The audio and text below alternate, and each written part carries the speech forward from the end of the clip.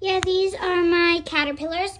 Sorry I couldn't actually bring them to school for you guys to see, but they were already on the top, so I didn't want to hurt them. Yeah. But they're really, really cool. They have hairs all over them. See those? They're like little hairs. And then they eat that, like that gross stuff right there. Yeah, they eat that. And then, so yeah. And then they start climbing up to there, like this one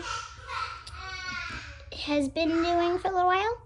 And as they go, and down here, they eat this stuff they call kibble. And then once they get up here, they start sticking their tongue to here. And then in a few days, there'll be chrysalises. And we'll take the cap off and put it on here. And then we'll take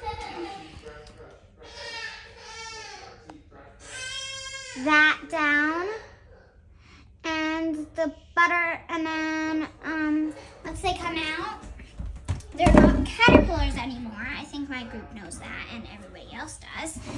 Um, and so it's like basically the life cycle I'm learning about at my house too.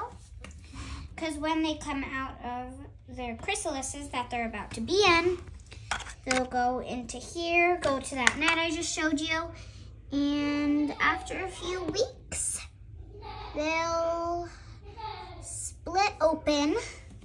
Their chrysalises will split open, and um, the butterfly will um, come out, but the wings will be like together like this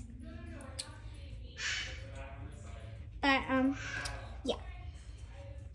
And then I'll put them in that net I showed you over there in my closet. And, yeah. It will um, become butterflies. And then in a few weeks, I will let them out in my front yard over here. And they will be full butterflies, and they will be lady painted lady butterflies. Um, painted lady butterflies look like they're painted in a picture.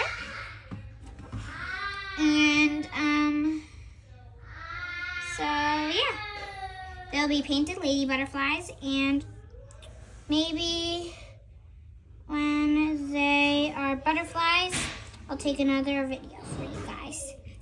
Thanks for listening.